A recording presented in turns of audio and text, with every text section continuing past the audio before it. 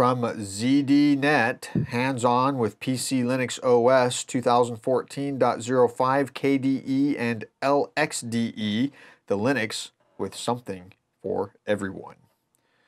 This is from uh, ZDNet's uh, Jamie's Mostly Linux Stuff blog. This is something I don't get into very often. He writes, uh, writing about a new release that has not been announced on DistroWatch. The latest set of PC Linux OS ISO images were made available last week, both in 32 and 64-bit versions in a variety of desktops. As always, the standard distribution is KDE, and there are community versions with LXDE and Mate, plus a full Monty distribution. So definitely check out the blog post.